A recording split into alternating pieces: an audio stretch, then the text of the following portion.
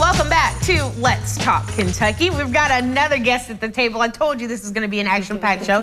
Joining us at the table is Candy Minnich from Mount Sterling and the Gateway Regional Arts Center. Welcome to the table. Thank you okay, so much. so I have to comment on something before we get started. We do this thing with our guests. I don't know how we do it, but we end up dressing the same. So we've got blue and blue, Yes. plaid and plaid, Kim and I pink are and going. pink. I just, Just blend it's like it just together. it's meant to happen every time. It is. So you are not here to talk to us about outfits, but but thank you. You you joined the mind meld today.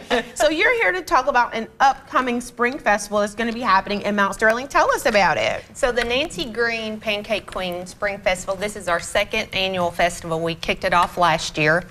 This year, um, we've added some more interactive things that the community is really going to, I think, be excited about. For those of you that don't know, Nancy Green was born in Montgomery County in 1834. Um, she was the first Aunt Jemima. She was portrayed Aunt Jemima and uh, was America's first living trademark, and she was born in Montgomery County.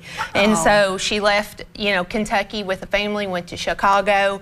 Uh, took care of that family, and through the course of uh, different things that happened, events, uh, she became the first Aunt Jemima. And so she was, you know, an entrepreneur, a, a brand ambassador for um, RT Mills that eventually became Quaker Oats. So beyond that, she was a missionary. She grew her church in Chicago to be one of the largest churches in the, the state. Wow. And um, she is just such a phenomenal human being and was such a phenomenal woman that we wanted to continue to highlight her. So the festival is is that a way for us to give back to her. And so the festival is not just vendors, it's just not food and, and retail vendors, but we are doing um, things that are going to also highlight the, the young adults in our community because of her culinary background and her you know what she brought to the table. We do a junior chef competition. Oh. So it's all Kentucky Proud products, and we've got three different junior chef teams, and those kids are going to cook, do a cook-off, and we have local celebrity judges. Yeah. So The- for, for, for so, so so many things going on. Yeah. Yeah, Uh, yeah. so what kind of vendors are going to be there too? So we're going to have um, food trucks, um, retail vendors, crafts, um,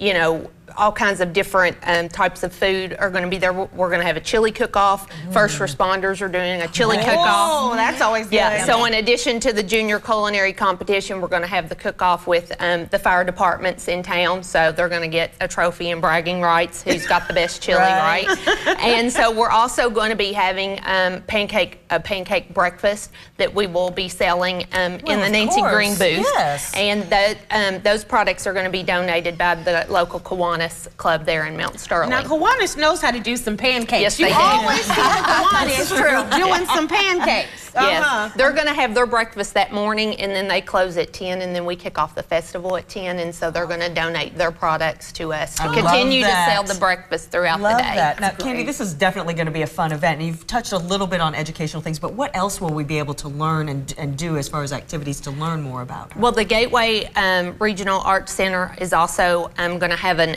area where they're doing poetry and um, art projects. So uh, students, local, and uh, in, anybody in the state of Kentucky up to the age of 21 was able to submit art and poetry, and so then they will be highlighting uh, those. Dis- they'll be on display there at the courthouse square. You can vote on those.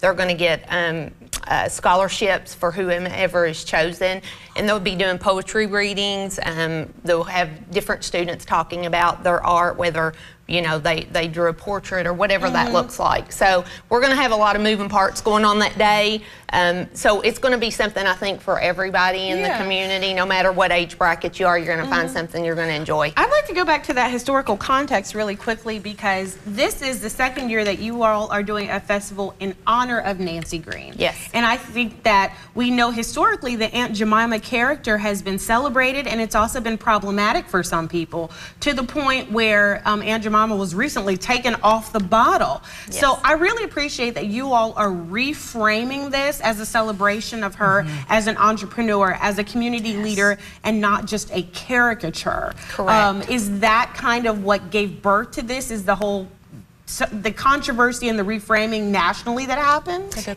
That's what brought it to light personally for me. Born and raised myself in Montgomery County when that all came to light and, and there was a lot of conversation about it.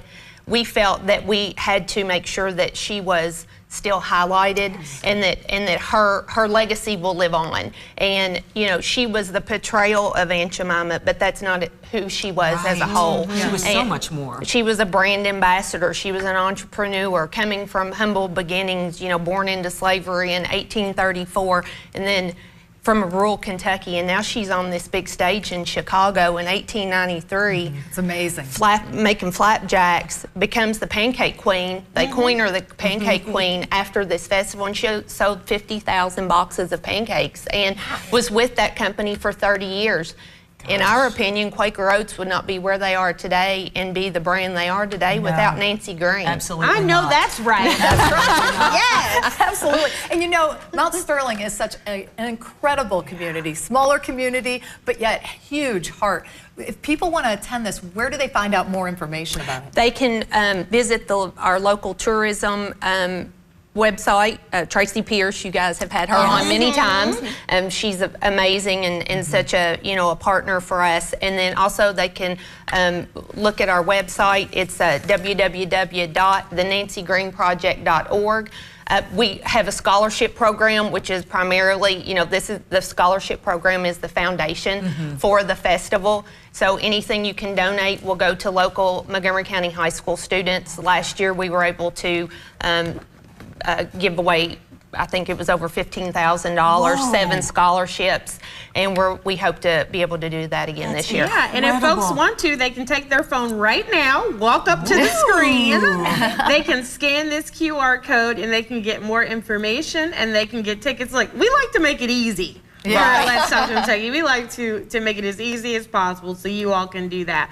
Well, Candy, I'm just so excited about this festival, and I'm excited about you taking um, something that historically has is like the American story. Yes. There are things to celebrate. There are things that we have to recontextualize because they're problematic. And I love that you all are doing that with this festival, so that we can celebrate her, eat pancakes, learn something, and have a good time. I mean, right. We always say life's short, eat, eat pancakes, right? So we, That's so true. I love it. Candy, mm-hmm. thanks so much for being on thanks the for show. having we me. really appreciate it. Thank you so much. Okay, everybody stay with us. Coming up after the break, we're going to highlight a woman we're talking about who's a super strong autism awareness and acceptance advocate.